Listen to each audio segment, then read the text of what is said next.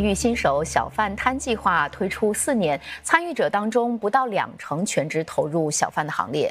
国家环境局透露，截至这个月，五十九名报名者当中呢，已有三十三人完成了培训，不过只有十一人选择全职经营档口。尽管如此，当局还是考虑增加名额，培育更多小贩，以推动本地小贩文化。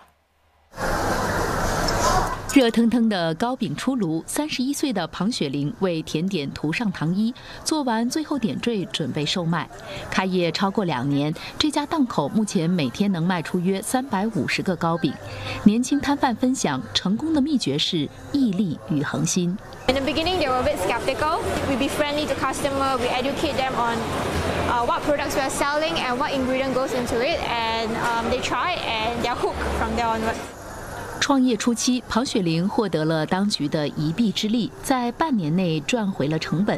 在培育新手小贩摊计划下，成功申请者开档首十五个月只需平均缴付六成的租金。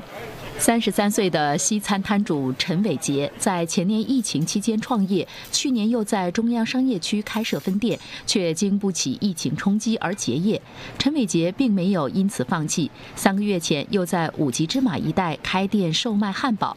他计划推出实习计划，培训更多年轻小贩。